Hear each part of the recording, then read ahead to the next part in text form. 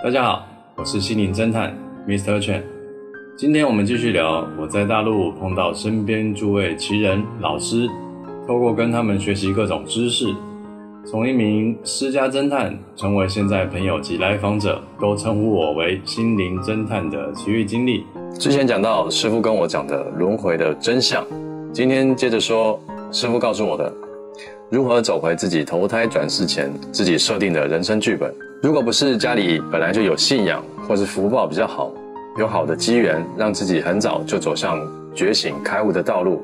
知道自己来这个世界上是为什么，清楚看到自己的真实人生剧本和真正的使命，才能够有这层觉知，走上开挂之路，一生畅行无阻。然而，大部分的人因为福报不够，与本我的连结不强，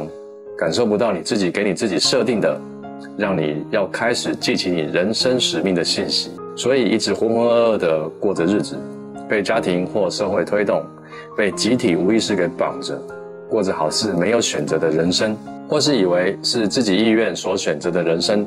但人生的现在，你又觉得活在焦虑和抑郁当中。其实很多这样的状况，都是活在我们所说的非我人生当中。这些过着非我人生的人们。只有到后来，在平常生活和人际相处上感觉到哪里不对，直到自己出现了抑郁、焦虑的情绪，因而开始寻求解决心理问题，才有机缘碰到对的人，有能力帮助到你的人，引导你觉知、开悟，找寻自己真正的人生方向。其实我真心调查工作做到后面，也开始有点这样的感觉，觉得做这个工作似乎没有以前那么起劲，婚姻调查做到有点倦怠。虽然我们公司很早就拓展业务到律师事务所跟企业当中去做诉讼调查、工商调查和谈判协商，也和国外的调查公司联盟合作国际案件，也是取得了一定的商界的声誉。然而，还是没有以前沉浸在工作的那种满足感。那时，我就隐隐觉得我工作时莫名其妙从高处跌落，受了脑伤，患了抑郁症是一个警示。直到来到大陆才证实这个事情。因为到大陆碰到了这些老师高人，才真正让我领会到这一生的使命，不只是做侦探跟调查的工作。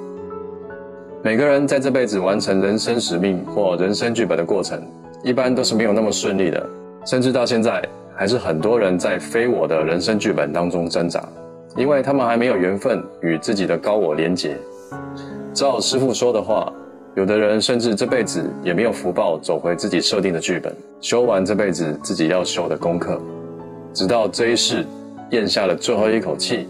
灵魂出来看到自己躺在那里，才会回忆起自己有多少功课没有完成，后悔虚度一生，只能下辈子再度来。要开悟觉醒，真的就要像《大话西游》里的至尊宝一样，碰到给他三颗痣的紫霞仙子。其实每个让你痛过的人。可以说，也都是透过让你痛的方式在点醒你，或是真的碰到觉醒开悟、已经了解这个世界真相的人，给你最精辟的教导。不过，很多人就算是上帝、佛祖化身在你面前，给你讲一大堆真理，你仍然是接受不到，不肯相信。这就是你的头脑层面、小我层面给你的枷锁，让你永远只能在低维当中轮回挣扎。真的要跳脱头脑、小我层面的制约，只能慢慢打开自己的认知。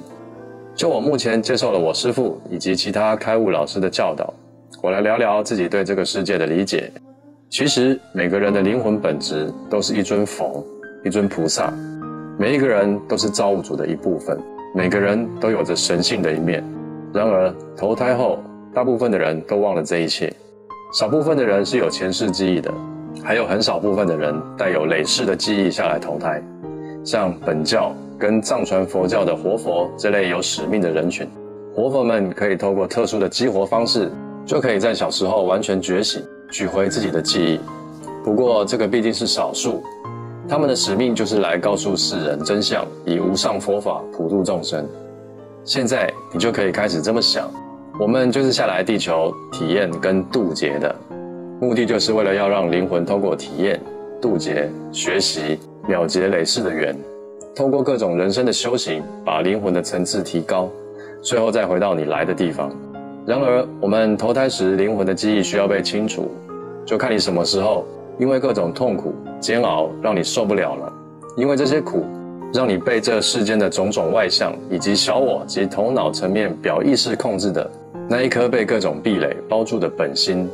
逐渐因为痛苦而破裂，让外面的光逐渐从心外的壁垒破碎的裂缝照进你的本心，让你本心内在的潜意识逐渐苏醒、浮现出来，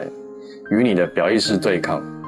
这个时候，很多人会出现抑郁、焦虑、恐慌等等情绪障碍。其实这就是你的潜意识要突破屏障的表现。一般人都是要有这个让痛苦击碎本心外在屏障的这样的过程，才有机会开始内观自己，向内找寻原因，进而疗愈自己，转化自己的内在，与自己的高我重新链接，找到你自己最应该走的道路，活回自己设定的人生剧本，你才有机会摆脱自己如提线木偶的人生现状。好的。今天就说到这里，希望我所说的对大家有所帮助，也希望大家多关注自己的情绪，